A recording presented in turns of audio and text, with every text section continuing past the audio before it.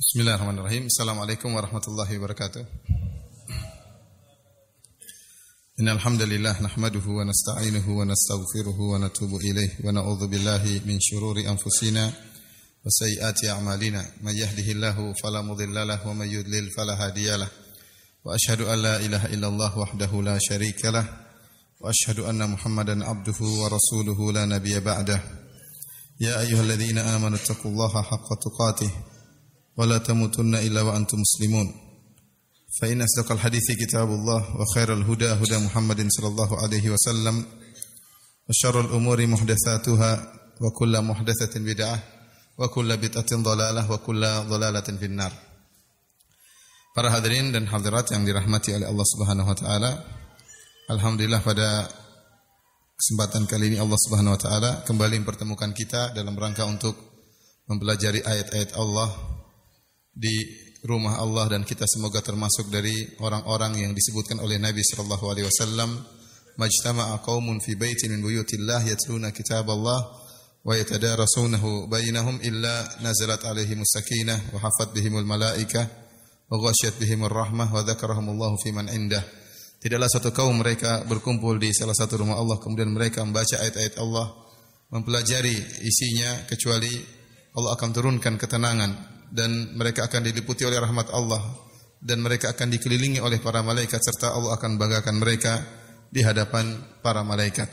Para hadirin rahmatillah subhanahu wa taala, pada kesempatan kali ini kita akan membahas tentang kisah Nabi Lut alaihi salam. Kenapa saya mengangkat topik mengenai kisah Nabi Lut alaihi salam? Karena kita tahu uh, kaum Nabi Lut diazab oleh Allah Subhanahu wa taala dengan azab yang sangat pedih dan sangat mengerikan karena mereka melakukan suatu perbuatan yang sangat keji dan menjijikkan yaitu praktek homoseksual. Dan permasalahan ini perlu kita angkat kembali ya, mengingat di zaman sekarang ini uh, praktek homoseksual mulai ditrenkan kembali ya. Zaman jahiliyah diulangi lagi.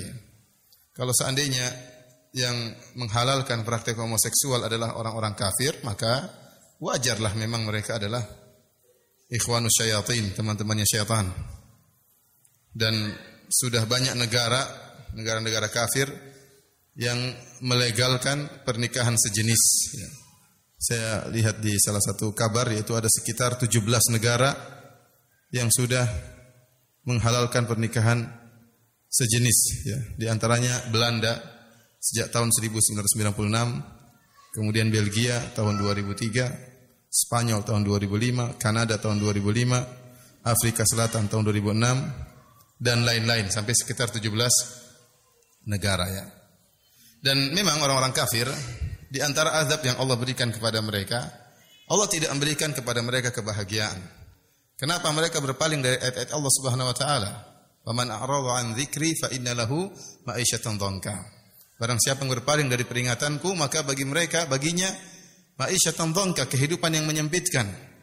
Sehingga mereka tidak merasakan kebahagiaan bahkan dalam kehidupan rumah tangga. Mereka senantiasa berfantasi mencari-cari perkara yang bisa memuaskan syahwat mereka, namun mereka tidak pernah puas. Oleh karenanya mereka menciptakan praktek-praktek seksual yang aneh-aneh. Yang mereka menyangka mereka mendapat kepuasan dalam praktek-praktek seksual yang aneh-aneh tersebut. Di antaranya dengan pernikahan sejenis homoseksual, lesbi atau dengan misalnya e, berhubungan dengan cara kekerasan atau dengan cara-cara yang aneh-aneh dengan binatang dan yang lainnya ya. Kenapa? Karena Allah telah mengazab mereka mereka tidak mendapatkan kebahagiaan. Kaum muslimin alhamdulillah yang tinggal di kampung-kampung bahkan di ujung Lombok pun bahagia. Tidak perlu macam-macam seperti itu. Nikah sama istri selesai punya anak bahagia alhamdulillah. Mereka orang-orang kafir ya diazab oleh Allah Subhanahu wa taala. Sehingga mereka ya mereka apa membuat-buat cara-cara yang aneh-aneh yang mereka tidak akan menemukan kebahagiaan dengan cara-cara uh, tersebut ya. Aneh-aneh dengan binatang, dengan anak kecil, dengan aneh-aneh lah mereka uh, hendak melakukan hal-hal yang diharamkan oleh Allah Subhanahu wa taala. Kalau seandainya orang kafir yang menghalalkan praktik homoseksual, maka ini wajar. Wajar. Tetapi yang sangat menyedihkan dan mengerikan tatkala penghalalan praktik homoseksual disuarakan oleh sebagian kaum muslimin. Apalagi disuarakan oleh seorang yang mengakunya adalah profesor dalam bidang agama. Sebagaimana kita ketahui bersama, kemudian ada seorang wanita yang e, merupakan profesor dalam bidang agama, kemudian menghalalkan praktek homoseksual. Ini perkara yang sangat mengerikan. Para ulama telah sepakat, kalau ada seorang menghalalkan zina, ya, zina berhubungan secara fitrah lelaki dengan wanita hanya saja tidak sesuai dengan aturan syar'i. Tetapi lelaki dengan wanita berhubungan wajar, lelaki suka dengan wanita. Tetapi tatkala berhubungan tersebut tidak dilakukan dengan syariat Allah Subhanahu wa taala, tidak sesuai dengan prosedur yang telah ditetapkan oleh Allah Subhanahu wa taala, maka hukumnya haram. Dan barang siapa yang menghalalkan zina, ya, maka dia telah keluar dari Islam. Kenapa? Karena zina, haramnya zina perkara yang ma'ruf, semua orang tahu. Orang awam pun tahu zina itu haram. Orang Islam tahu. Meskipun orang awam tahu bahwasanya zina itu haram, berhubungan tanpa pernikahan itu haram. Adapun pezinanya, seorang yang berzina, dia tidak kafir selama dia tidak menghalalkan zina. Meskipun dia berzina seratus kali, meskipun dia pezina, profesinya sebagai pezina. Ya. Apa namanya pekerjaannya? PSK. Apa singkatannya? Apa? Apa? Pekerja seks komersial ya. Ya. ya. Itu. Meskipun bekerja sebagai pezina. Selama dia meyakini itu tidak halal, maka dia tidak sampai derajat kafir. Meskipun dia diancam dengan adab yang pedih, di adab kubur maupun di akhirat. Ya, di adab di, di adab dengan adab yang sangat pedih. Dan banyak pezina yang tahu perbuatannya haram, dia tahu. Dan banyak pezina yang mengharapkan kehidupan yang bahagia, ingin hidup normal sebagaimana wanita-wanita yang lain. Dia tahu hukumnya haram dan dia tidak kafir. Ada orang yang tidak berzina, berumah tangga biasa dengan punya suami, punya anak-anak, namun dia menghalalkan zina, maka dia kafir. Kenapa dia menghalalkan perkara yang maklum minad din ya bidarurah, dia menghalalkan suatu perkara yang dalam agama sudah sangat jelas hukumnya haram, semua orang tahu secara darurat, semua orang tahu hukumnya haram, kemudian dia berani menghalalkan. Berarti dia berani merubah ya syariat Allah Subhanahu wa taala, maka orang ini bukan orang Islam. Maka bagaimana lagi dengan menghalalkan praktek homoseksual? Kalau zina yang ini adalah fitrah lelaki dengan wanita hanya saja tidak ikut prosedur ya.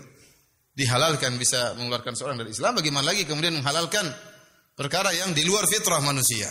Lelaki berhubungan dengan lelaki. Bahkan di luar fitrah hewan. Antum pernah lihat hewan homo? Antum pernah lihat kambing main sama kambing laki-laki, jantan sama jantan? Kemudian kambing betina dengan kambing betina, antum pernah lihat? Cara mainnya pun gimana kita nggak tahu. kambing betina kambing betina gimana coba? Kambing, eh, tidak ada ya. Sampai sebagian ulama mengatakan tidak ada hewan homo. Ya, ini kalau saya baca dalam tafsir Al-Qurtubi kecuali dua hewan yaitu hewan khinzir dan himar. Wallah alam bisawab ya. Katanya uh, babi juga ada homonya. Coba ini butuh penelitian ya. saya tidak berani menetapkan. Ini perkataan sebagian ulama. Allah alam bisawab apakah babi juga homo ya?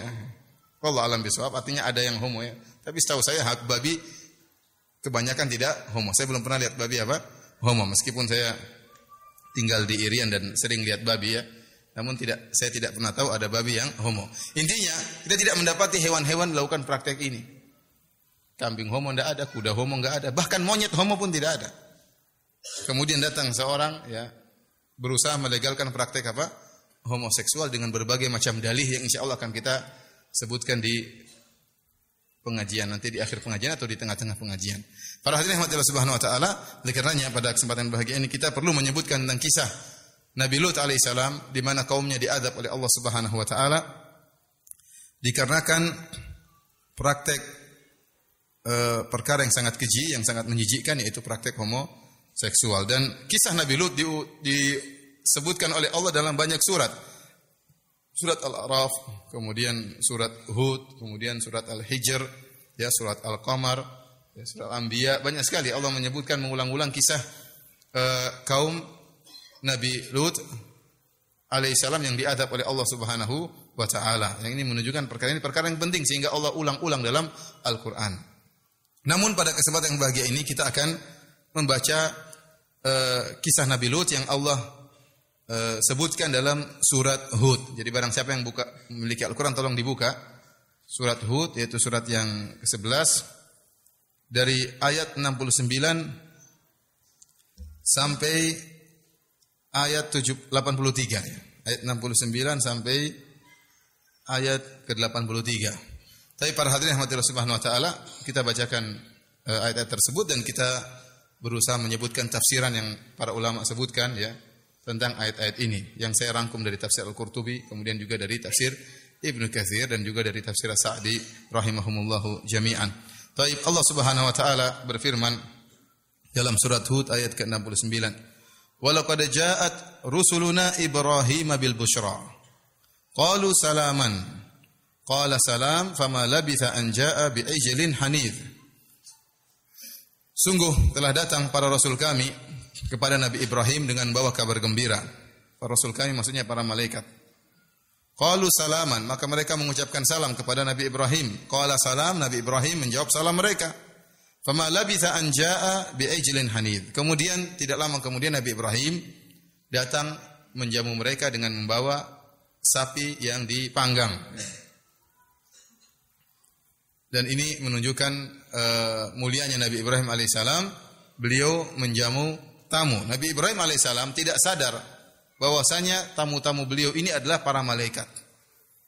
Kita tahu para malaikat diberi kelebihan oleh Allah Subhanahu wa taala untuk menjelma dan ini adalah kekuasaan Allah Subhanahu wa taala di luar dari nalar, nalar kita. Ya, bagaimana Allah menciptakan malaikat ya dari unsur cahaya kemudian dia bisa menjelma menjadi manusia yang terbuat dari unsur tanah. Dan malaikat memiliki sifat-sifat yang luar biasa ya. Cahaya oleh karenanya Allah menyebutkan wasabiqati sabqa. Para malaikat yang cepat ya, bergerak. Bagaimana malaikat mendengar perintah Allah kemudian turun kepada Nabi SAW menyampaikan kabar dari Allah dengan jarak yang begitu jauh ya, dengan waktu yang sangat singkat. Bagaimana cepatnya para para malaikat ya. Dan para malaikat ketika datang menemui hamba-hamba Allah kebanyakannya dalam bentuk manusia. Oleh karena disebutkan Nabi SAW pun tidak pernah melihat malaikat Jibril dalam bentuk aslinya kecuali cuma dua kali.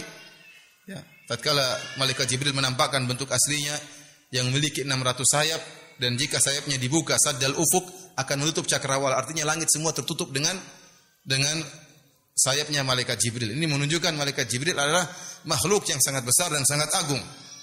Nah, malaikat Jibril datang kepada Nabi sering menjelma menjadi manusia. Di antaranya menjadi Dihya Al-Kalbi radhiyallahu anhu.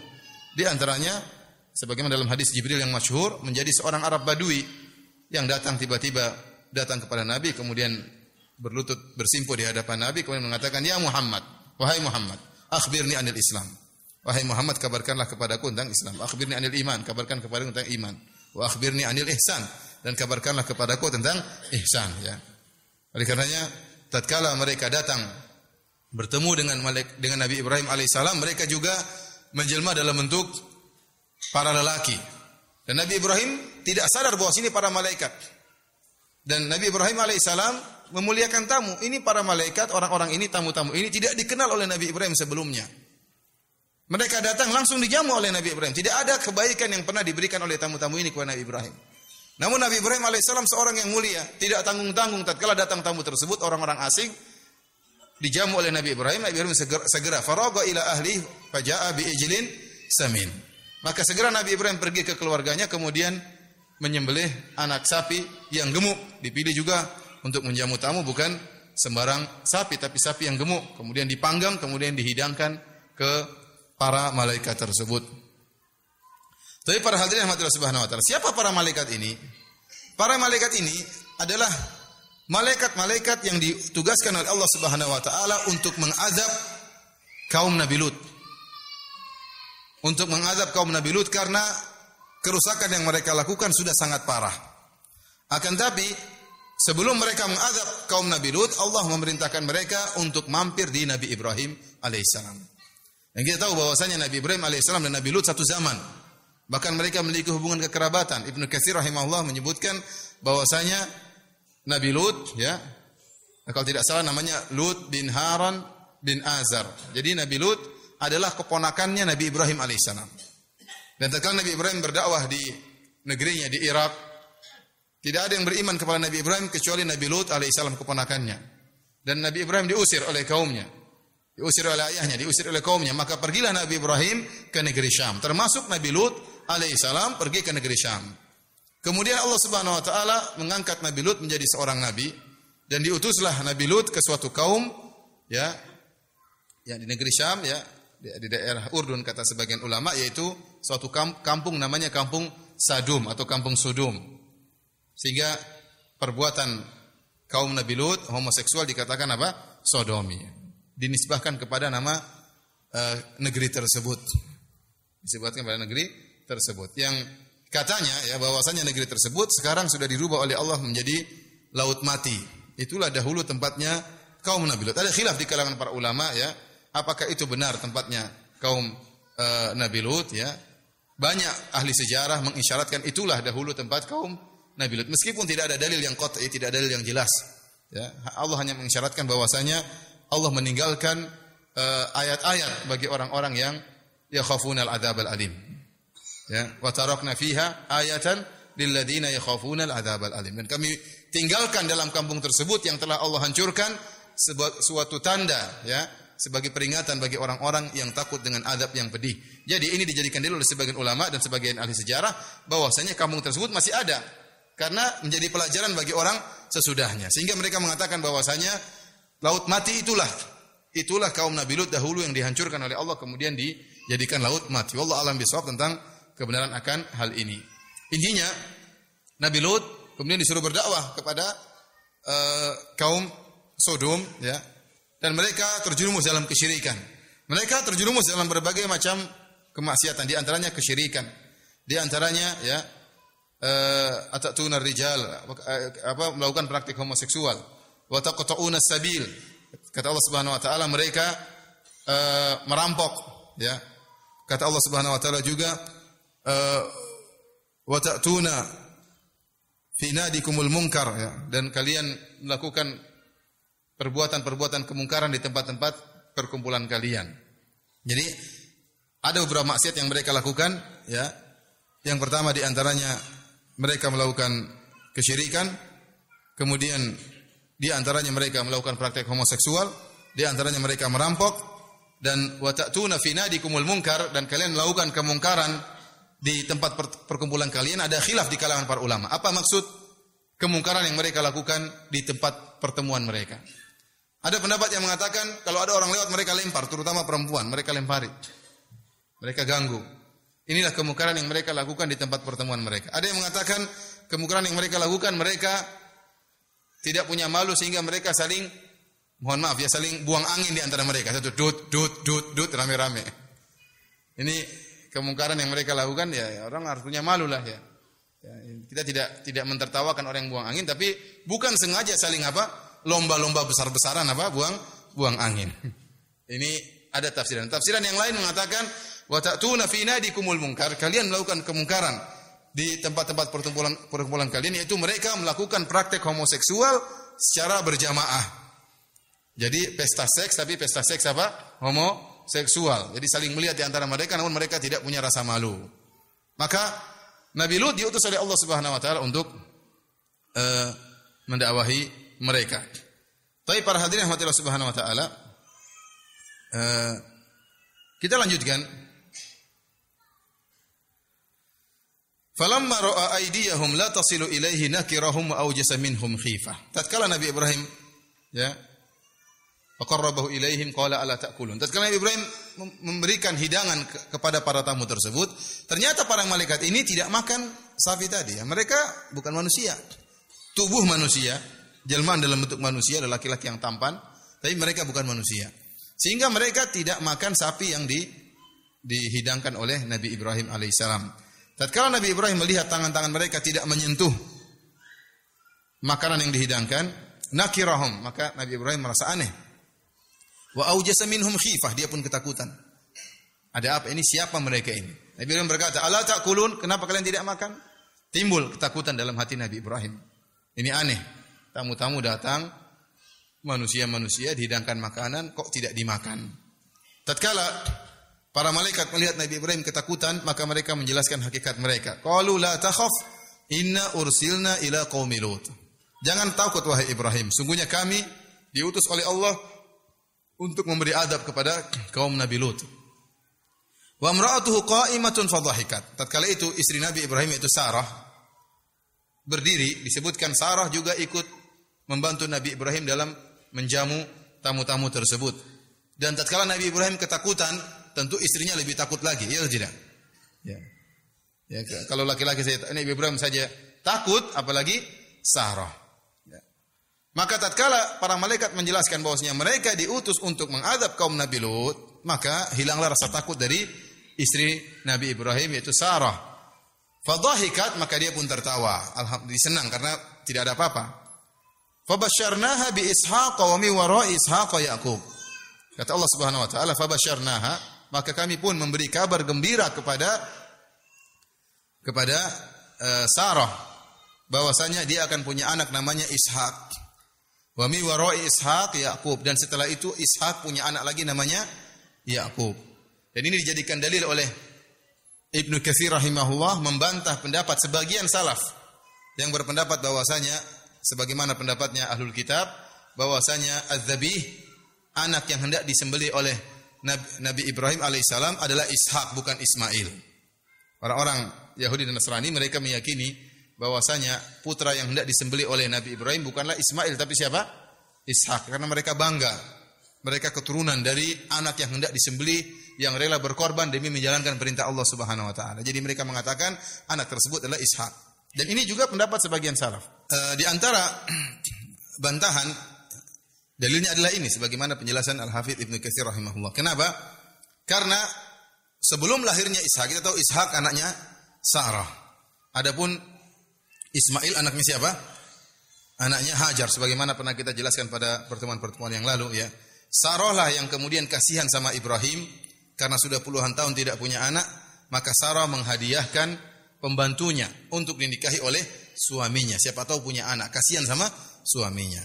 Tatkala suaminya menikah berpoligami atas usulan istrinya, ya ternyata keluar anak. Tatkala keluar anak, Sarah apa? Cemburu. Demikianlah para wanita. Terkadang dia mengusulkan suaminya suruh poligami, begitu suaminya poligami dia stres. Wajar. Itu apa? Wajar. Sarah yang kita tahu seorang wanita yang mulia, istri Nabi Ibrahim ya, dididik oleh suami yang sangat mulia Khalilur Rahman pun cemburu kepada Hajar dan Nabi Ibrahim tidak ngamuk-ngamuk sama Sarah. Paham? Nabi Ibrahim ngamuk-ngamuk sama Sarah enggak? Enggak, ini wajar perempuan cemburu sama perempuan yang yang lain. Para hadirin rahmatillah subhanahu wa taala ya. Uh, di antara dalil yang menunjukkan bahwasanya az-zabih yang disembelih, yang mau disembelih adalah Ismail adalah ayat ini karena sebelum lahirnya Ishak, setelah lahirnya Ismail, sebelum lahirnya Ishak, para malaikat datang dan dan Allah mengatakan fabasyarnaha bi Ishak wa mi wara Ishak Yakub. Kami berikan kabar gembira kepada Sarah bahwasanya dia punya anak namanya Ishak dan Ishak akan punya anak namanya Yakub. Berarti Ishak ini akan punya anak. Namanya siapa? Yakub. Nah, kalau seandainya ternyata yang ditugaskan oleh oleh Allah untuk disembelih oleh Nabi Ibrahim ternyata Ishak, maka tugas tersebut tidak ada nilainya. Misalnya setelah itu, setelah Ishak lahir, kemudian Allah mengatakan, wahai Ibrahim, sembelihlah Ishak. Kata Ibrahim alaihissalam, tidak jadi masalah. Saya akan tahu Ishak akan hidup dan akan punya anak ya Allah. Tidak jadi masalah. Jadi tidak ada tantangan di situ, tidak ada ujian. Paham? Karena Nabi Ibrahim sudah dikabarkan sebelumnya Ishak ini bakalan hidup dan bakalan nikah dan bakalan punya anak namanya siapa? Yakub. Kalau gitu buat apa disuruh sembelih? Dan kabar Allah tidak mungkin ber, bertentangan. Berbeda dengan Ismail. Tatkala yang disuruh sembelih Ismail, ya, maka inilah tantangan bagi Nabi Ibrahim alaihissalam. Taib. Kita lanjutkan. Qalat ya wailata, a'alidu wa ana ajuzu wa hadha ba'li syaikha. Tatkala diberi kabar gembira, maka istrinya heran. Sarah dia mengatakan, ya, aduhai, saya apakah saya bisa punya anak sementara saya sudah sangat tua dan suami saya juga sudah sangat sangat tua. Inna hadzal syai'un ajib. Ini adalah perkara yang sangat menakjubkan. Maka kata para malaikat, "Qalu atajabina min amrillah?" Apa kalian heran dengan kalian heran dengan perkara Allah? Rahmatullahi wa barakatuh alaikum ahlal bait. Sungguhnya rahmat Allah dan keberkahan Allah turun kepada kalian wahai keluarga Ibrahim. Innahu Hamidum Majid. Sungguhnya Allah Maha terpuji dan Maha agung ya. Ini bukannya Sarah ya meragukan kekuasaan Allah, tidak dia heran aja. Kita kita tidak katakan jangankan Sarah heran. Nabi Zakaria saja heran. Nabi Zakaria bukankah dia berdoa, "Idnada rabbahu nidaan khafiyya." Ya kemudian minta agar diberikan apa? Anak. Tatkala Allah mengabarkan kau akan punya anak, maka dia heran. Padahal sebelumnya dia yakin Allah bisa menganugerahkan kepada dia anak. Kata para ulama, kapan Nabi Zakaria minta anak tatkala melihat keanehan terjadi pada Maryam. Kullama dakhala alaihi Zakaria ya wajah al-mihrab wajada indaha rizqa. Setiap ber, bertemu dengan Maryam dapati ada rizki Allah berikan. Qala ya Maryam anna laki hadha? Qalat huwa min indillah. Dari mana kau dapat rezeki ini? Kata Maryam dari Allah Subhanahu wa taala. Dan yang menakjubkan rezeki tersebut kata para ahli tafsir, ya Allah datangkan di musim dingin makanan yang tidak terdapat kecuali di musim panas. Allah datangkan buah-buah yang tidak tumbuh kecuali di musim dingin, Allah hadirkan di musim panas. Tatkala melihat hal yang menakjubkan ini, maka timbullah gerakan hati dari Nabi Zakaria, dia sudah lama nikah, sudah tua, tidak punya anak, dia yakin Allah bisa mendatangkan akibat tanpa sebab. Allah bisa mendatangkan akibat tanpa sebab. Maryam di mihrab aja nggak ke mana-mana. Ternyata bisa rezeki datang meskipun dia tidak mencari rezeki. Ya, artinya dia seorang wanita tidak dituntut untuk mencari mencari rezeki. Allah datangkan rezeki dan rezekinya pun aneh. Rezekinya pun aneh. Makanan yang tidak ada di musim panas dihidangkan tatkala musim dingin. Dari situ kata Allah, "Hunalika da'a Zakaria rabbah." Qala rabbi habli min ladunka dzurriyyatan thayyibah. Tatkala itu Nabi Zakaria pun berdoa, ya Allah anugerahkanlah kepadaku anak yang yang baik dari darimu. Kemudian Allah mengabarkan bahwasanya kau akan punya anak. Dia mengatakan, "Anna yakunu li gulamun." Wa kanat imraati akiran wa qad balagtu min al-kibari itiya. Ya Allah, bagaimana saya bisa punya anak? Sementara istri saya sudah tua, saya pun sudah tua. Istri saya mandul, saya sudah tua. Loh, tadi kamu yang minta kan? Paham? Maksud saya, maksud saya Nabi Zakaria tadi yang minta. Setelah Allah bilang, dia yakin Allah akan mengabulkan. Begitu Allah kabulkan dia heran, kok bisa ya Allah? Jadi kenapa? Memang ya inilah apanya Allah mampu melakukan apa saja. Maka sebagaimana Nabi Zakaria pun heran, Sarah pun heran itu wajar. Maka dia mengatakan eh, wa ana ajuzun alidu wa ana ajuzun hadza ba'li syaikh. Apakah saya bisa melahirkan? Saya sudah tua sementara suami saya juga sudah sudah tua. Kemudian kata Allah Subhanahu wa taala, jadi subhanallah, malaikat berikan kabar gembira kepada Nabi Ibrahim. Ya akan punya anak. Ya. Baru kemudian malaikat pergi ke kaum Nabi Lut. Falamma dhahaba an Ibrahim ar-rau'u wa ja'athu al-bushra yujadiluna fi qaumi Lut. Kata Allah, tatkala telah hilang dari Ibrahim ketakutan. Bosnya mereka bukan siapa-siapa. Mereka ini malaikat, tidak perlu takut. Wa ja'athu al-bushra dan telah datang kabar gembira bahwasanya dia akan punya anak setelah puluhan tahun nikah, sekarang punya anak ya. dan bahkan akan punya cucu. Apa yang dilakukan oleh Nabi Ibrahim alaihissalam? Yujadiluna fi qaumi Lut. Nabi Ibrahim berdialog dengan kami dalam masalah kaum Nabi Lut. Kata Ibnu Katsir rahimahullah, Nabi Ibrahim mengatakan para malaikat tunda, jangan dulu azab kaum Nabi Lut. Ya, jangan dulu azab mereka. Sungguhnya mereka mudah-mudahan dapat hidayah setelah ini. Jadi ini kata Allah Subhanahu wa taala Kenapa? Karena Nabi Ibrahim memang sifatnya luar biasa. Kata Allah, "Inna Ibrahim la halimun awwahum munib." Nabi Ibrahim adalah seorang yang halim, seorang yang penyantun yang sangat baik. Tatkala Allah mengabarkan bahwasanya Allah akan azab kaum Nabi Lut, Nabi Ibrahim mengatakan, "Jangan dulu. Sabar, jangan dulu. Siapa tahu mereka dapat hidayah. Siapa tahu mereka mendapat petunjuk." Ya. Maka malaikat menegur ya Ibrahimu a'rid an hadza. Wahai Ibrahim, berpalinglah engkau dari urusan ini, jangan kau singgung-singgung lagi kaum Nabi Lut. Innahu qad jaa amru rabbik. Sungguh telah datang keputusan Rabbmu. Wa innahum atihim adzabun ghairu mardud. Dan akan datang kepada mereka azab yang tidak bisa tertolak lagi. Ya. Kenapa? Para ulama menyebutkan ini belakangan ya. Jadi Nabi Lut berdakwah dengan waktu yang cukup lama, menasihati mereka. Namun mereka tidak mau mendengar. Bahkan mereka ingin mengusir Nabi Lut. Sebagaimana Allah sebutkan dalam Al-Qur'an fama kana jawab qaumihi illa an qalu akhriju ala lutin min qaryatikum innahum unasu yatatahharun dan tidak ada jawaban yang diberikan oleh kaum Nabi Lut kepada Nabi Lut kecuali mereka berkata usirlah Lut dan keluarganya dari kampung kalian sungguhnya mereka adalah orang-orang yang sok suci dan ini semakin perkuat bahwasanya fitrah mereka sudah berubah sudah terbolak-balik mereka tahu mereka berbuat najis mereka tahu dan mereka tahu Nabi Lut menyerukan suatu kesucian. Lelaki dengan wanita. Ya. Berhubungan lewat kubul. Sekarang mereka tahu apa praktek yang mereka lakukan. Lelaki dengan lelaki lewat dubur ada najisnya. Mereka tahu sehingga mereka mengatakan Nabi Lut dan keluarganya unasun yatatoharun, orang-orang yang sok suci. Maka kata para ulama ini menunjukkan fitrah mereka rusak. Bagaimana mereka mengusir Nabi Lut dengan dalil bahwasanya Nabi Lut baik. Paham? Ada orang, eh keluar orang ini, kenapa orang ini baik, tidak pernah mencuri, keluarin dia. Ada orang seperti itu. Kita bilang usir orang ini karena dia pencuri, usir orang ini karena dia pezina, usir orang ini karena dia orang yang menjijikkan. Baru diusir. Sekarang kebalikan mereka mengatakan usir kaum Nabi Lut karena mereka orang-orang suci. Jadi itulah ya. Allah mengatakan wa syaitanu a'malahum. Syaitan menghias amal perbuatan mereka.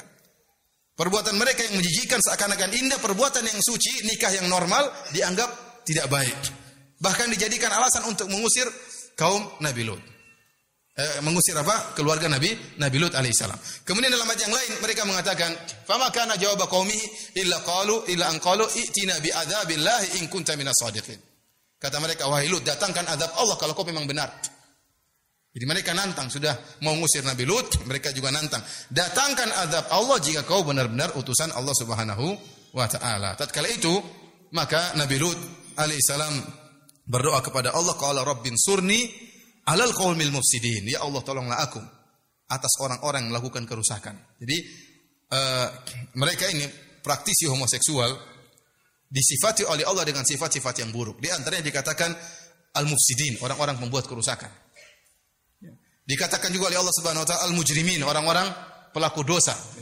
Dikatakan juga oleh Allah Subhanahu wa taala al-musrifin, orang-orang yang berlebihan. Dikatakan oleh Allah juga al-zalimin, orang-orang yang berbuat zalim. Allah memberikan sifat-sifat yang buruk kepada kaum Nabi Lut karena kejinya perbuatan perbuatan mereka. Kejinya perbuatan perbuatan mereka. Perbuatan mereka menjijikkan. Bagaimana laki mendatangi apa? Lelaki. Oleh karenanya Ibnu Katsir menyebutkan suatu riwayat dari Al-Walid bin Abdul Malik. Al-Walid bin Abdul Malik ya dia berkata, "Laula anna Allah azza wa jalla qassa alaina khabara qaumi Lutin ma dhanantu anna dzakaran ya'lu dzakaran." Kata Al-Walid bin Abdul Malik rahimahumullah, kalau seandainya Allah tidak mengkisahkan kisah kaum Nabi Lut, maka tidak terbetik dalam hati kami, kami tidak akan menyangka ada lelaki berhubungan dengan lelaki. Tetapi Allah sebutkan berarti ada. Berarti pernah terjadi. Oleh karenanya praktek homoseksual pertama kali terjadi adalah di kaum Nabi Lut. Allah mengatakan, "Wa id qala liqaumi atatuna al-fahishata ma sabaqakum biha min ahadin minal alamin." Dan Lut tatkala berkata kepada kaumnya, "Apakah kalian melakukan perbuatan keji al-fahisha sejenis dengan zina?" Ma sabaqakum biha min ahadin min alamin. Allah tidak mengatakan ma sabaqakum biha ahadun, tapi Allah mengatakan min ahadin dan ini menunjukkan penekanan. Tidak seorang pun sebelum kalian pernah melakukan hal ini, tidak ada. Jadi yang pertama kali melakukan praktik homoseksual adalah kaum kaum Nabi Lut. Ya, ini perkara yang sangat Sangat aneh laki-laki dengan apa? Laki-laki. Terus kemudian dikatakan halal. Seandainya perbuatan ini halal maka akan ada fikih baru ya. Fikih nikah lelaki dengan lelaki. Nazornya gimana? Laki nazar laki-laki. Mungkin jenggotnya disingkap gini. laki-laki nazar laki-laki apa yang nazar? Ya subhanallah. Atau otaknya taruh di mana mereka? Mahramnya siapa? Walinya siapa? Gimana? Terus bagaimana nanti hukum poligami laki dengan lelaki? Ya, repot berkelahi terus ya. Saya boleh laki dengan saya boleh dengan nikah dengan laki empat orang. Ya gimana laki empat orang kemudian aduh kacau ya. Oleh karenanya saya katakan ini perbuatan yang sangat aneh kok bisa dihalalkan. Tapi para hadirin rahmatillah subhanahu wa taala jadi uh, para malaikat mengatakan innahum wa innahum atihim adzabun ghairu mardud. Sungguh mereka akan didatangi oleh adab yang tidak mungkin tertolak lagi. Wahai Ibrahim ini sudah keputusan Allah tidak bisa diganggu gugat bahwasanya mereka akan diadab. Akhirnya setelah melewati Nabi Ibrahim, berangkatlah para malaikat tersebut menuju ke Nabi Lut. Disebutkan oleh Ibnu Katsir rahimahullah atau di, Al-Qurtubi ya, jarak antara uh, negeri atau rumahnya Nabi Lut dengan rumahnya Nabi Ibrahim sekitar arba farasikh yaitu sekitar 20-an kilo ya. Jadi enggak enggak terlalu jauh atau 30 kilo sekitar gitulah. Maka berangkatlah para malaikat menuju ke Nabi Lut. Apa kata Allah Subhanahu wa taala? "Walamma ja'at rusuluna Lutan si'a bihim wa dhaqa bihim dzar'a wa qala hadha yaumun 'asib." Tatkala datang para rasul kami para malaikat kepada Nabi Lut, maka si abihim wa dhaqa bihim dzar'a, maka Nabi Lut merasa berat dan sulit. Ya. Wa qala hadza yaumun asib. Nabi Lut berkata ini perkara yang berat. Sesak dada Nabi Lut. Kenapa? Nabi Lut tidak tahu ini malaikat, sama seperti Nabi Ibrahim, sama-sama tidak tahu. Dan Nabi Ibrahim Nabi Ibrahim juga tidak mengabarkan kepada Nabi Lut ya. Waktu itu belum ada WhatsApp, belum ada SMS ya. Entar datang, terlagi malaikat datang, tidak, tidak tahu. Maka sebagaimana Nabi Ibrahim pamannya tidak tahu itu para malaikat itu adalah para malaikat, Nabi Lut pun tidak tahu bahwasanya itu para malaikat. Sehingga waktu para malaikat tersebut datang dalam bentuk manusia-manusia yang tampan, Nabi Lut ketakutan. Kenapa? Bahaya ini orang-orang ini tampan-tampan datang ke sini. Sementara kampungnya seluruhnya apa? Homoseksual. Dan disebut oleh para ahli tafsir seluruhnya homoseksual. Tidak ada yang tidak homoseksual, seluruhnya. Makanya Allah mengatakan, fa akhrajna man kana fiha minal muslimin. Fama wajidna fiha minal mu'minin. Fama wajidna fiha ghairu baiti minal muslimin. Tidak kami dapati dalam kampung tersebut kecuali satu rumah yang Islam. Seluruhnya semua apa? Praktisi homoseksual. Nah, sekarang datang orang-orang tampan subhanallah. Jadi Allah ingin mengazab mereka dengan mendatangkan malaikat-malaikat yang menjelma sebagai laki-laki yang tampan. Dan para ulama menyebutkan mereka sangat tampan, tampan mereka tidak wajar. Jadi para malaikat yang datang ini tampannya tidak tidak wajar. Ya. Antum tahu kisah Nabi Yusuf alaihissalam waktu para wanita melihat Nabi Yusuf kemudian mereka potong-potong tangan-tangan mereka, mereka mengatakan mahada basyara in hada illa malakun karim. Ini bukan manusia, ini malaikat. Artinya menunjukkan malaikat itu di apa identifikasikan dengan ketampanan. Kalau menjelma jadi manusia tampan dan benar para ulama menyebutkan mereka datang dalam kondisi yang tampan. Jadi Allah Subhanahu wa taala seakan-akan ingin mengazab mereka tatkala mereka sedang di puncak-puncak syahwat mereka menggebu-gebu. Ya, ada orang seperti itu diadab oleh Allah tatkala mereka di puncak kezaliman, ada. Seperti Firaun, kapan diadab? Firaun pertama kali mengaku sebagai Tuhan masih ada tawaduk sedikit. Dia mengatakan apa? Ya, dia mengatakan ma alimtu apa lakum ila apa gimana ayatnya? Uh, dalam ayat dia mengatakan alaisa li mulku misra wa hadhil anharu tajri min tahti afala tubsirun. Jadi dia mengatakan bukankah saya adalah raja, raja Mesir, Mesir ini seluruh milik saya, bukankah sungai-sungai mengalir di bawahku? Kata para ulama, pertama kali dia mengaku sebagai Tuhan, sebagai Tuhan apa? Mesir. Jadi bukan Tuhan Lombok, Tuhan Jawa, Tuhan Indonesia enggak, Tuhan Mesir dulu. Setelah itu, setelah 40 tahun kemudian baru ngaku sebagai Tuhan yang paling top. Ana rabbukumul a'la. Aku adalah Tuhan yang paling tinggi. Kalau ada Tuhan Indonesia, ada Tuhan Amerika, maka saya yang paling tinggi Tuhan Mesir. Sehingga Allah mengatakan fa akhadhahu Allahu nakalal akhirati wal ula. Maka Allah mengadab Firaun dengan adab yang terakhir dan adab yang pertama. Dia melakukan dua jenis maksiat, ngaku sebagai Tuhan Mesir dan ngaku sebagai Tuhan yang paling top, ada dua adab Allah berikan. Jadi orang semakin banyak melakukan maksiat, azabnya juga semakin semakin banyak di neraka. Sebagaimana Firaun. Dan kapan dibinasakan oleh Allah? Tatkala di puncak-puncak kesombongan. Tatkala dia merasa sebagai Tuhan yang paling top, baru Allah binasakan dia. Nah mereka ini juga Allah alam bisawab. Allah mengutus malaikat-malaikat yang sangat tampan. Sehingga mereka di puncak-puncak syahwat. Ada santapan lezat di rumahnya siapa? Nabi Lut. Ya. Mereka berdatang rame-rame. Di situ Allah mengazab mereka. Allah tidak mengutus para lelaki yang wajahnya biasa-biasa saja tidak. Allah mengutus malaikat yang menjelma menjadi laki-laki yang sangat tampan. Yang inilah menjadikan Nabi Lut sesak dadanya. Wah gimana ini? Bahaya ini. Apalagi istri Nabi Lut berkhianat. Allah menyebutkan apa? Wa daraballahu wa daraballahu mathalil ladzina kafaru imra'ata Nuhin wa imra'ata Lut. Kanata tahta abdaina min min min ibadina abdaini min ibadina salihain. Fakhanatahuma falam yughni anhuma minallahi syai'a wa qila dukhulan nar ma'ad dakhilin. Allah buat perumpamaan tentang orang-orang kafir, tentang istri Nabi Nuh dan istri Nabi Lut. Mereka berdua adalah istri-istri dua hamba yang soleh, fakhanatahuma dan mereka berdua berkhianat kepada suami mereka berdua. Falam yughni anhuma minallahi syai'a. Suami mereka berdua tidak bisa menolong dua istrinya ini. Meskipun dua ini nabi, tidak bisa menolong dua istrinya. Kata Allah, Udkhala wa qila dukhulan nar ma'ad dakhilin. Masuklah kalian berdua dalam neraka jahanam. Di antara pengkhianatan istri Nabi Lut, dia mengabarkan kepada kaumnya bahwasanya telah datang santapan-santapan lezat di rumah saya. Ada laki-laki yang sangat tampan.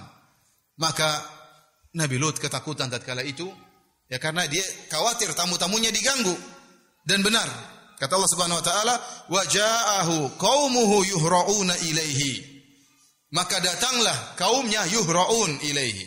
Yuhraun disebutkan oleh para ulama ahli tafsir artinya bersegera, bergegas. Dan tidak disebutkan kecuali orang yang datang segera dalam kondisi ketakutan atau gemetar atau ada ada suatu hasrat. Jadi datang dalam kondisi syahwatnya apa? Menggebu-gebu. Jadi begitu dikabarkan ada laki-laki ganteng ya sudah apa? Sudah sudah no, syahwatnya sudah muncak sampai sini ya. Jadi bersegera menuju ke mana? Ke rumah Nabi Lut. Yuhrauna ilaihi. Bersegera menuju sana. Kenapa ada santapan? Santapan lezat. Lezat. Dalam ayat yang lain, wajah ahlul madinati yastabshirun. Datang satu kampung seluruhnya datang kepada Nabi Lut. Seluruhnya homo. Yastabshirun bergembira. Kenapa ada santapan lezat di rumah Nabi Nabi Lut. Ini yang mereka nanti-nanti. Ada laki-laki yang tampan. Wa min qablu kanu ya'maluna sayyi'at. Dan mereka sebelumnya telah melakukan maksiat-maksiat, di antaranya praktek homoseksual, di antaranya mereka e, merampok ya, di antaranya mereka berbuat kesyirikan. Maka datanglah mereka semua ke rumah Nabi Lut. Disebutkan oleh para tafsir, Nabi Lut berdiri di depan pintu menghalangi mereka. Menghalangi mereka. Jangan kata Nabi Lut ya. Qala ya qaumi haula ibanati hunna athaharu lakum. Kata Nabi Lut, wahai kaumku, ini putri-putriku. Ya. Kalau kalian ingin berhubungan, Berhubunganlah dengan yang wajar, menikahlah dengan putri-putriku. Berhubungan dengan kubul bukan dengan dubur. Silakan. Dalam yang lain kata Nabi Lut, "Haula ibanati in kuntum fa'ilin." Kalau kalian benar-benar ingin berhubungan, berhubungan dengan putri-putriku. Ada yang mengatakan maksudnya putri-putriku di sini adalah para wanita yang wajar karena seluruh seorang nabi seperti seorang ayah. Jadi maksudnya banati artinya para wanita yang ada di kampung tersebut. Jangan dengan para lelaki. Mereka enggak mau. Mereka Enggak mau. Kata Nabi Lut, "Fattakullah wa la tukhzuni fi dhaifi." Takutlah kalian kepada Allah. Jangan kalian permalukan aku, menghinakan aku di depan kamu tamuku. Jadi dalil kedua Nabi Lut, kalau kalian memang ya tidak mau mendengarku, tidak mau menikah dengan para wanita, hormatilah aku ini tamu-tamuku, jangan ganggu. Jangan kalian permalukan aku. Ini tamu-tamuku, jangan ganggu. Jadi Nabi mengatakan demikian. Wala tukhzuni fi dhaifi. Jangan kalian permalukan aku di hadapan tamu-tamuku. Alaysa minkum rajulur rasyid? Bukankah di antara kalian ada orang yang cerdas yang mau mendengar nasihat? Apa jawaban kaum Nabi Lut? Mereka sudah mabuk kepayang, sudah lihat laki-laki tampan. Ya. Allah sebutkan dalam ayat yang lain dalam surat Al-Hijr, la amruka innahum la fi sakratihim ya'mahun. Demi umur wahai Muhammad, sungguhnya kaum Nabi Lut la fi sakratim ya'mahun, dalam kemabukan dan dalam kebutaan. Benar-benar sudah apa? Sudah syahwatnya sudah sampai di ubun-ubun. Jadi mereka tidak peduli nasihat Nabi Lut. Mereka mengatakan, "Qalu laqad alimta ma lana fi banatika min haq wa innaka la ta'lamu ma nurid." Wahai Lut, kau sudah tahu kami tidak hasrat dengan anak-anak putri-putrimu. Wa innaka la ta'lamu ma nurid dan kau sungguh-sungguh sudah tahu apa yang kami kehendaki. Kau sudah tahu wahai Lut, kami tidak butuh dengan kubul. Yang kami inginkan adalah dubur. Ini perkataan siapa? Kaum Nabi Nabi Lut. Antum bayangkan bagaimana posisi Nabi Lut yang setengah mati. Ada tamu-tamunya tampan datang homo para homo lagi demonstrasi. oh, cepat. Kira-kira gimana? Walau kekar-kekar semua kemudian demonstrasi minta laki-laki ya gimana? Nabi Lut berusaha melawan tapi tidak bisa. Nabi Lut mengatakan, "Qala law anna li bikum quwwatan aw awi ila ruknin syadid." Seandainya saya punya kekuatan, Nabi Lut sendirian, dia tidak punya tidak punya kabilah, dia datang untuk dakwai kaum Sodom.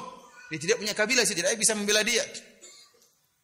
Tidak bisa ada apa sukunya yang bisa mengusir mereka.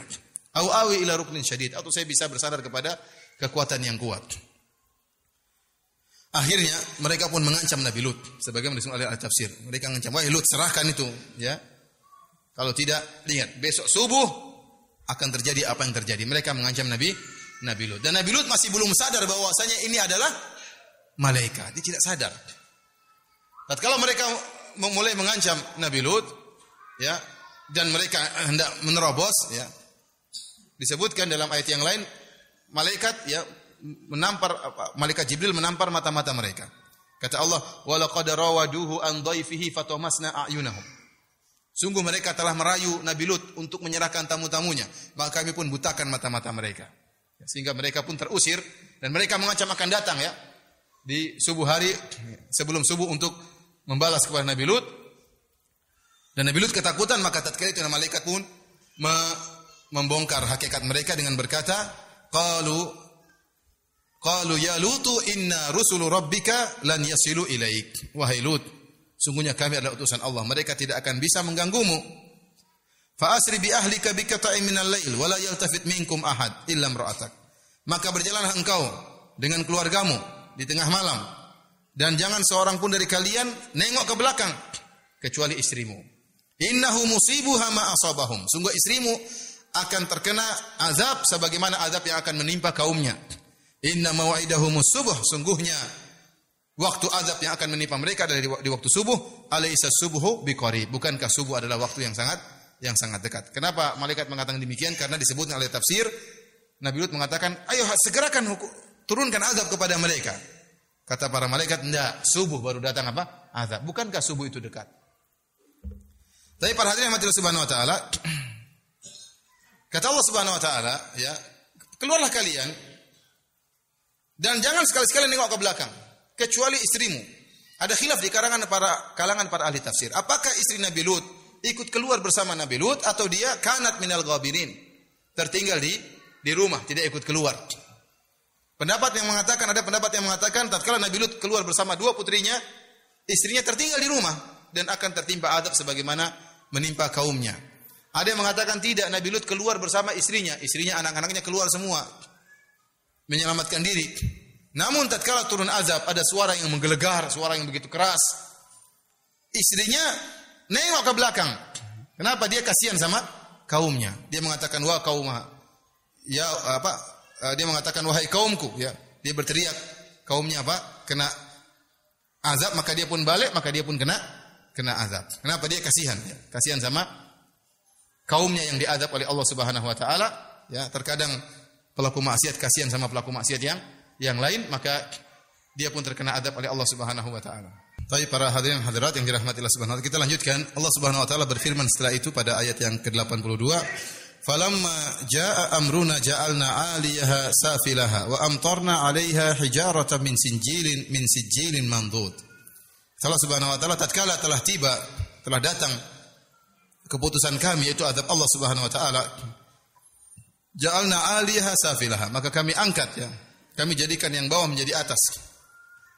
Yang atas menjadi bawah. Jadi disebutkan malaikat Jibril, sebagian tafsir menyebut malaikat Jibril dengan sayapnya memotong negeri kaum Lut. Kemudian diangkat ke langit sampai di atas kemudian dijatuhkan ke ke bawah. Tatkala dijatuhkan ke bawah, jadi ada suara rajfah, ada suara halilintar yang begitu kuat, suara guntur yang begitu kuat, kemudian mereka diangkat, kemudian mereka dijatuhkan, kemudian dihujani dengan hujan batu yang min sijilin mandud yaitu batu yang keras dan batu yang panas serta batu yang bertubi-tubi datang kemudian menyerang menyerang mereka. Kata Allah musawwamatan inda rabbik yang telah diberi tanda oleh Rabbmu. Sebagian ahli tafsir mengatakan apa yang dimaksud dengan musawwamatan? Diberi tanda batu-batu tersebut kata mereka bahwasanya batu-batu tersebut telah ditugaskan oleh Allah. Ini batu-batu khusus untuk melempari si fulan dari dari kaum Nabi Lut. Batu-batu ini untuk melempari si fulan. Batu-batu ini untuk istrinya Nabi Lut. Batu-batu ini pokoknya semuanya sudah dinamain. Oleh karenanya kata para ulama, sebagian kaum Nabi Lut ada yang tidak hadir waktu kejadian di kampungnya. Mungkin lagi safar, lagi berdagang ya. Atau lagi munazor tempat lain. Dia lagi di luar, meskipun tidak di kampung tersebut, batu-batu tersebut mengejar.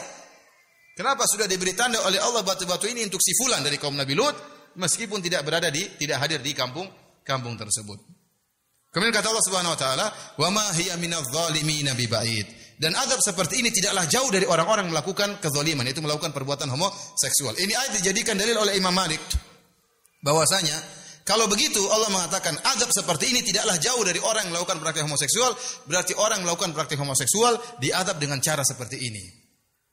Karenanya pendapat Imam Malik bahwasanya kalau mengadab orang yang melakukan ketahuan melakukan praktek homoseksual, maka diangkat ke gunung, kemudian dilemparkan di atas gunung sampai dilempari dengan apa? kerikil-kerikil.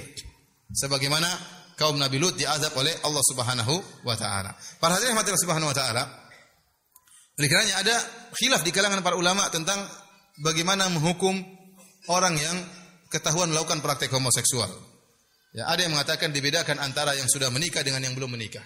Ada yang menyamakan dengan hukum zina. Ya, kalau sudah menikah maka dirajam sampai mati, kalau belum maka dicambuk dan diasingkan.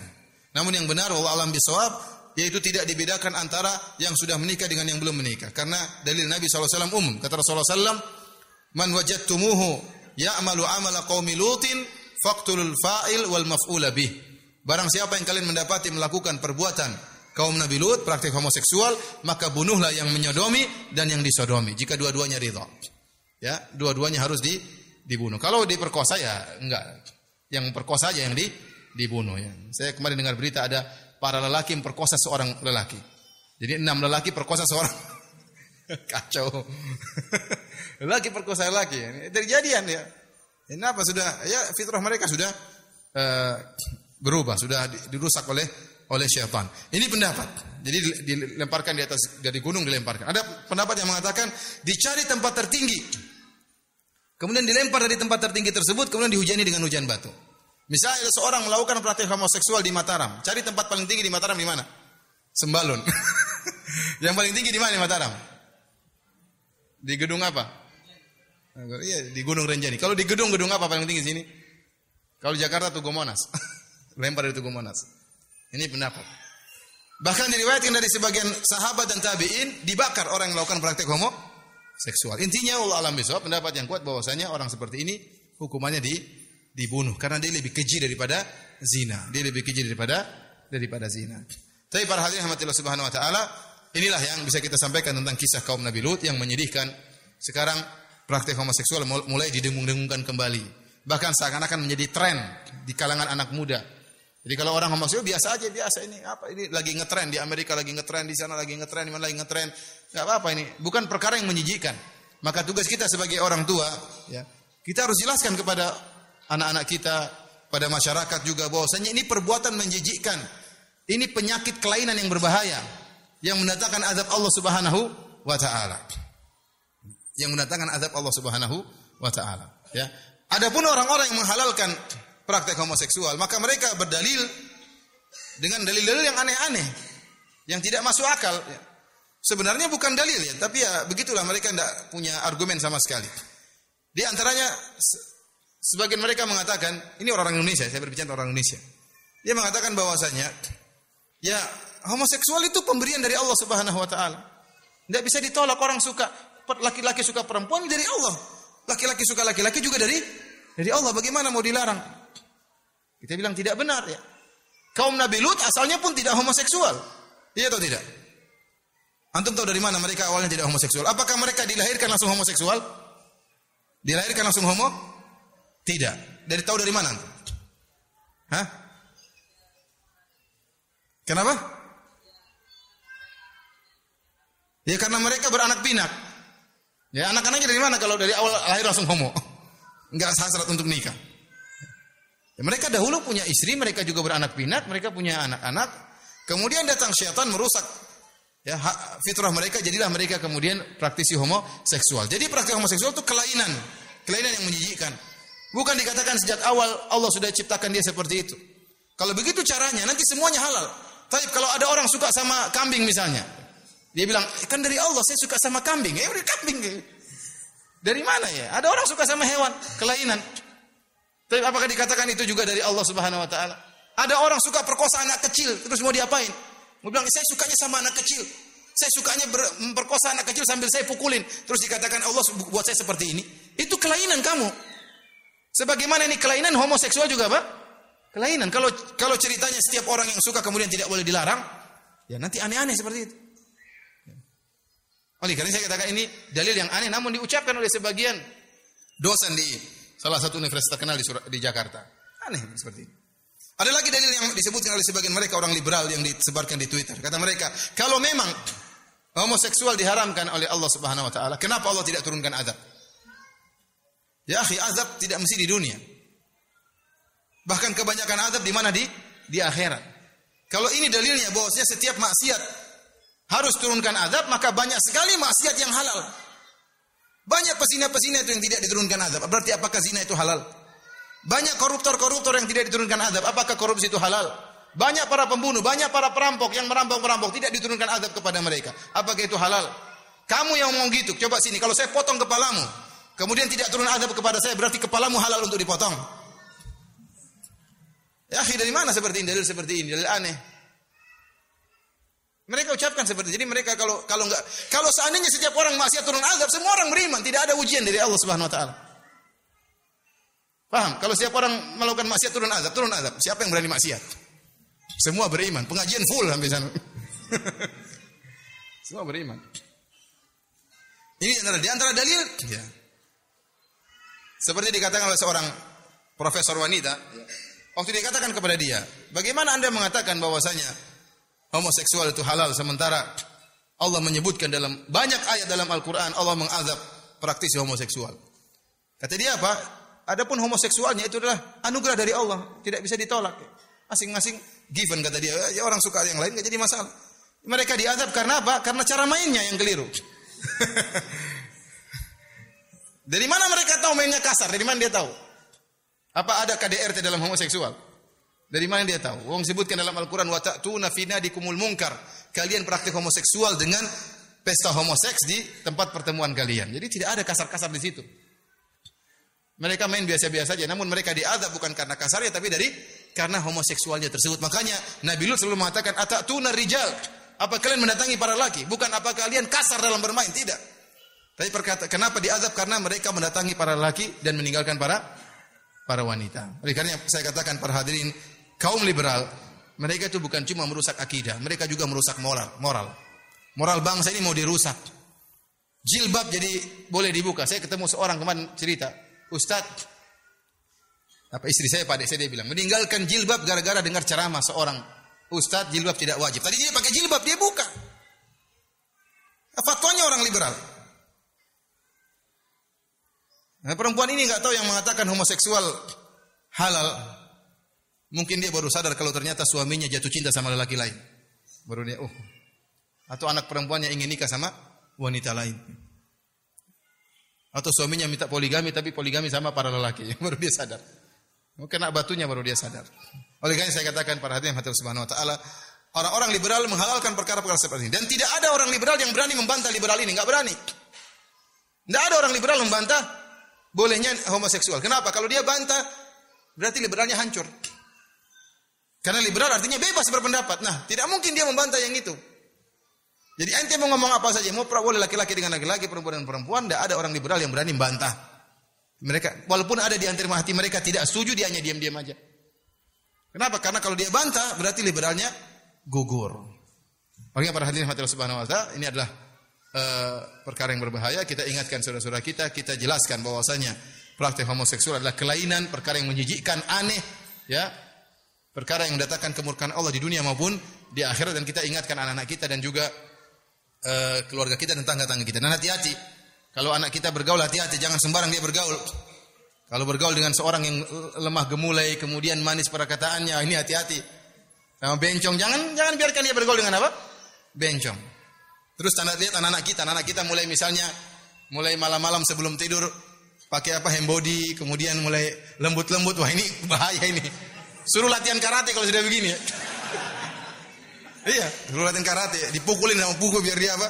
Biar jadi laki-laki. Nah, ini bahaya seperti ini. Hobinya masak-masak, kemudian waduh gawat seperti ini. Hobinya jahit pakaian, oh ini laki-laki jauh, jangan sampai dia jadi apa? kewanitaan seperti ini. Kemudian kita pun demikian. Kita di rumah juga jaga diri kita sama istri kita. Jangan misalnya bermesraan di depan anak-anak. Kenapa anak punya syahwat dia masih kecil dia oh ternyata laki-laki apa dia tidak bedakan jenis-jenis ya ternyata dua jenis ini bisa saling mesra-mesra tergerak syahwatnya tidak ada penyaluran bisa didekati oleh lelaki. Palingan kita sejak kecil anak-anak dipisahkan tidur jangan bareng-bareng ya supaya tahu laki-laki lain dengan perempuan jangan dianggap sama.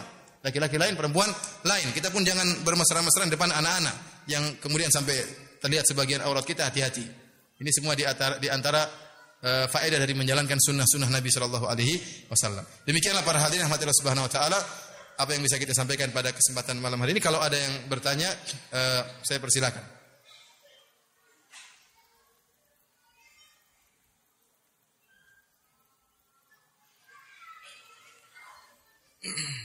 Apa hukumnya orang yang ganti kelamin menurut Islam? Nah, kalau dia asalnya laki-laki, memang dia laki-laki, ya. Uh, kemudian dia merubah kelaminnya, maka dia terlaknat. Orang sebenarnya terlaknat. Maka hendaknya dia bertobat kepada Allah Subhanahu wa taala. Wala yughayyirunna khalqallah ya. Di antara tipuan iblis, syaitan yang diserukan oleh syaitan adalah agar mereka merubah ciptaan Allah Subhanahu wa taala. Di antara bentuk merubah ciptaan Allah adalah merubah kelamin.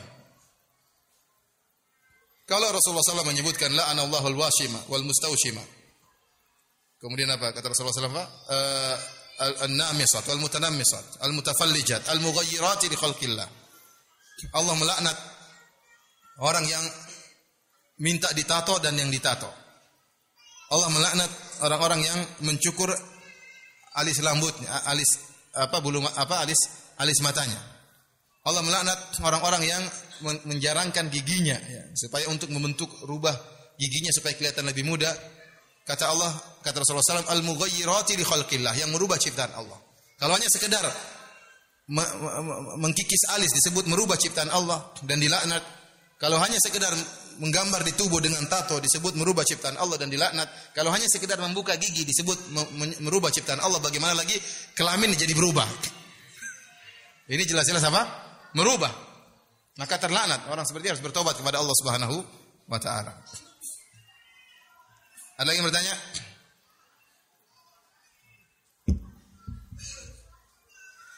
Ustadz kalau ada yang merasa dirinya ada kelainan, suka sama jenis, bagaimana mengobatinya? Dia harus yakin bahwasanya dia mengalami kelainan dan dia harus berusaha memperbaiki dirinya. Jadi ini ujian dari Allah Subhanahu wa taala. Ujian dari Allah Subhanahu Sebagai, sebagaimana contoh gampangannya? Seorang laki dijadikan dia jatuh cinta sama istri orang. Misalnya, dia sangat tidak bisa melupakan istri orang, mungkin bekas pacarnya atau gimana. Tidak boleh dia berhubungan dengan perempuan tersebut. Haram hukumnya meskipun dia sangat hasrat kepada wanita tersebut, maka dia harus lawan. Dia harus lawan sampai dia meninggal dunia. Tidak boleh terjerumus dalam zina meskipun dia suka istri orang tersebut. Dan tidak halal bagi dia. Istri itu punya suami. Maka demikian juga laki yang kemudian fitrahnya berubah. Entah mungkin pernah disodomi. Entah mungkin melihat film-film yang membuat dia bergairah sama lelaki. Pasti aslinya tidak dia tidak demikian. Ada perkara-perkara yang menyebabkan fitrahnya berubah. Maka dia harus lawan. Maka dia harus lawan. Di antaranya, ya, dia menikah, menikah dan dia melawan syahwatnya, menikah dan dia tumpahkan syahwatnya pada istrinya. Enak tidak enak harus dia kerjain. Dan dia latih. Sebagaimana dia bisa jadi homo karena terlatih, ya tidak. Orang kadang-kadang disodomi dia tidak suka, lama-lama dia jadi suka. Maka dia latih diri dia untuk menyukai apa? Wanita. Dia harus lawan. Harus lawan hal ini. Karena ini adalah ujian dari Allah Subhanahu wa taala dan banyak beristighfar kepada Allah Subhanahu wa taala. Pun dia pasrah dengan syahwatnya ya, maka tidak boleh. Hukumnya haram. Kemudian tadi mungkin latihan karate, latihan tinju mungkin untuk merubah apa? Menunjuk apa e, menonjolkan kejantanannya. Wallahu alam bisawab. E, subhanakallah bihamdik asyhadu an la ilaha illa anta astaghfiruka wa atubu ilaik. Assalamualaikum warahmatullahi wabarakatuh.